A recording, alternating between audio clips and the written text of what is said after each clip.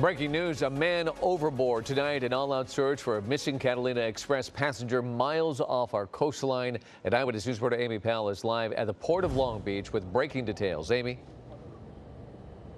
And David, we've had boats, helicopters, and rescuers from several agencies searching the waters for the man who was on board the Catalina Express boat you see behind me when he went overboard. So far, they have not found him.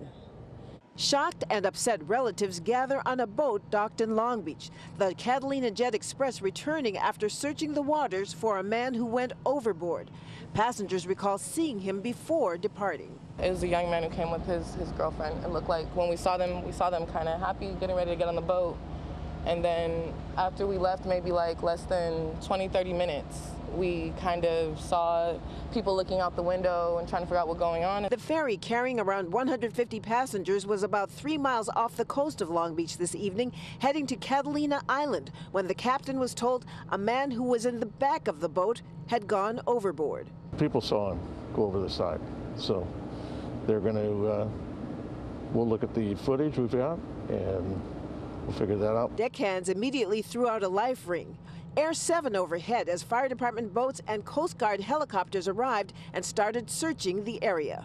We didn't see what happened, but uh, we circled the water for two hours. It just, I just feel it should have been handled a little differently. Most passengers getting off the boat in Long Beach and immediately boarding another boat to continue the journey to Catalina.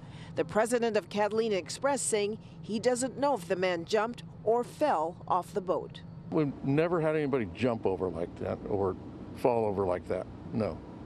So we've had pretty sad day, obviously. For them. Yeah, we've been in business 40 years. Back here live, we're told that members of the Coast Guard will continue to search the waters overnight.